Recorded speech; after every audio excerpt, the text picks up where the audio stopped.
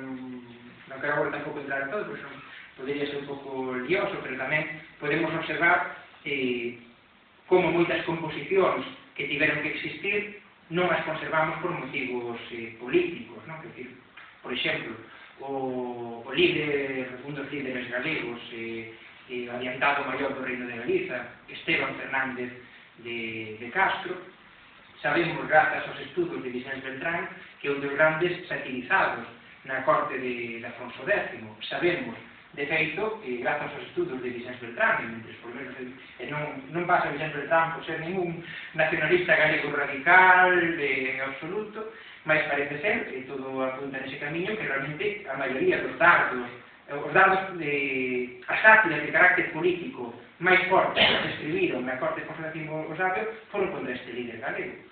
Un líder galego que o que pretendía era casar coa eh, coa neta non? De, de Afonso IX e, e, e que era ademais filla do, do adiantado maior do Reino de León e ele que era adiantado maior do Reino de Galiza pretendía efectivamente eh, reunificar o, o vello Reino de Galiza chamemos non sei que historiadores que se sorprenden eh, eh, en fin, eh, cando na revolta de 1272 dos, dos nobres e por que había tantos eh, tantos prelados eh, leoneses, non? por exemplo, nos fin, eh, aquí un estudiar, pero sempre, sempre vi moitos historiadores, o geógrafos de Alfonso X, que era a revolta de, de nobres casteláns, pero tantos nobres casteláns, pero resulta que, que toda a igrexa leonesa e galega apoiaba o revoltado, cousa máis extraña. E aparte, cousa máis extraña, que sexa o seu Fernández de Castro, o primeiro en enfrontarse a Conso X directamente. Eh, máis a destas cousas que estou medio eh, indo un pouco a uña de cabalos eh, na cuestión, o, que é o relevante deste, deste aspecto? O relevante é que nos encontramos con que Esteban Fernández de Castro pretendía casar cunha muller, cunha muller porque que xa estaba eh, esposado, non? Eh, comprometido, non? na linguaxe actual, e o, a razón que tentaba utilizar Afonso X para que non casase con esa muller é que, por tanto, non eh, non houvese esa nova bandazo de poder para o reino de Galiza era dicir que Esteban Fernández de Castro non podía casar con unha muller porque era sodomita.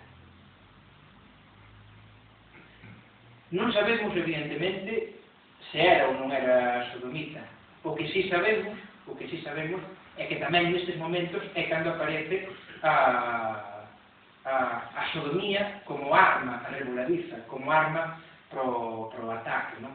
fin, a día de hoxe podemos ver perfectamente como tamén se non a homosexualidade, se o, o sexo continúa a ser un elemento pro, pro debate e pro ataque eh, político, non? Vemos no, no fundador de Wikileaks, o Assange, non? Que, que din que estaban perseguindo a Interpol por, por cuestións sexuais, e, en fin, e hai que ser moi inocente para pensar que era por iso, non?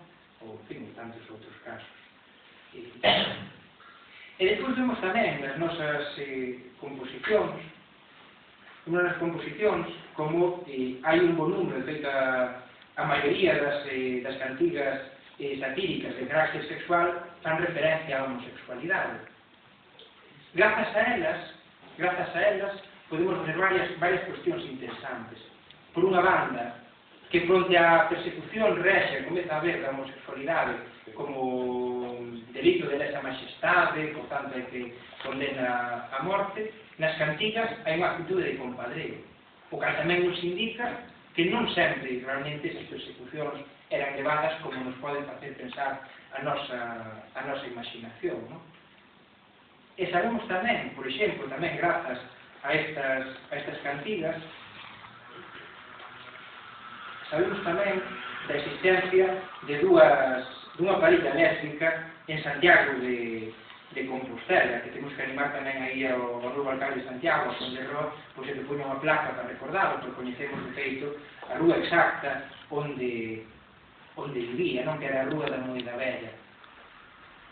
E ainda que sexa desde unha perspectiva do, do riso, sí que, sí que é lindo, sí que é lindo observar que realmente moitas composicións falan do amor, literalmente, entre estas dúas mulleres, non? Un, un trovador que está incómodo porque di que non lle fan caso e di, di a Sancha non se me non se me olvida, non esquezo o amor, o amor de María. En fin, como penso que o máis importante tamén o, o que podamos compartirmos e, e debatermos, quería terminar co documento que antes facía eh, referencia da Unión Institucionalizada entre Homens máis antiga que conservamos en Galiza e que xusto este pasado 16 de abril se facían os 950 anos da, da súa da súa eh, da súa asignatura formal non? tentamos desde diferentes asociacións culturais eh, de novo aí a importancia de que sigamos eh, as formiguiñas pois, pois actuando tentamos que este, que este aniversario non pasase desapercibido ante a total eh, desinte, total desinterese oficial. Non? Este documento, de logo, non foi descoberto por mí, en absoluto, eu incluo aquí no libro, e tento, pois, eh, cos coñecementos que temos a día de hoxe, pois, tentar contextualizalo un pouco máis, pero xa foi editado en diferentes ocasións ao longo do século XX, e nos anos 80 do século XX foi un profesor estadounidense, John Boswell, o que, o que demostrou a importancia de, deste documento no, nun libro de, de referencia, un profesor de emisario de, de Yale. Lamentablemente, igual que tantas veces na nosa historia, pois, eh, en fin, descoñecemos os grandes tesouros culturais que posuímos, coas veces os descoñecemos ou desvalorizamos até que non nos rouban. até que desaparecen e esperemos que non teñamos que vir sempre a cultura eh, como unha falta, non? eh, podamos valorar o, o que o que temos, o que posuímos. E, por certo, dentro desta valoración, ainda que sexa aquí como unha nota de rodapé na exposición, se quería indicar que este libro, sendo unha historia da falsificación da historia da sexualidade, vai a redundancia, tamén era unha forma que fala da falsificación da historia de Galiza, unha vez que, que falamos o que me centro sobre todo en documentación galega quedei panco máis unha vez ao encontrarme como documentos galegos e, e onde en latín se falaba claramente do reino de Ganaecia e nas versións traducidas ao español se falaba do reino de León. Ganaecia oriundo oriundo del reino de León. Entón, claro, quen adultera e quen, e quen falsifica. Di o documento. Pedro Díaz e Muño Bandilaz pactamos entre nós e recoñecemento dos demais por escrito legal asinado 16 de abril de 1061 no relativo á Casa e á Igrexa de Santa María de Ordes que posuímos os dous e na cal somos iguais en labor en acoller visitas en coidala decorar e gobernala así como plantar, edificar e traballar na horta.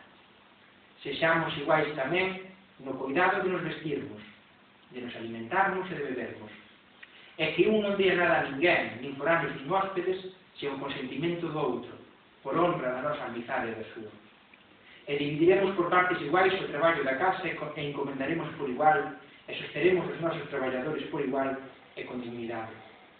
E seremos un pros demais, vos amigos, con fé e sinceridade, tendo por igual os mesmos amigos e inimigos, todos os días e todas as noites, para sempre o documento continúa, mas observando observando o que nos di, tamén eh, pregúntase como é posible que a día de hoxe poida haber quen siga dicindo que o matrimonio é cosa de, non, que o matrimonio ten que ser entre home e entre muller, que o matrimonio entre homes ou entre mulleres non existiu, que é un invento de Dantonte, e que, por tanto, non pode haber igualdade de dereitos. Ante quen diga iso, non dubidedes que o que está a facer é mentir e manipular.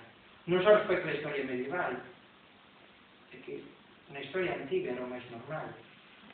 Na Península Ibérica conservamos, conservamos lápidas funerarias entre homens onde se fala de dos homens que son cónxuxes. E mesmo quen diga que o matrimonio entre un home e unha muller é desde sempre, Recordade algo que ningún teólogo, ningún teólogo os pode negar, que o matrimonio como tal, na Igrexa, aparece no século XII como sacramento.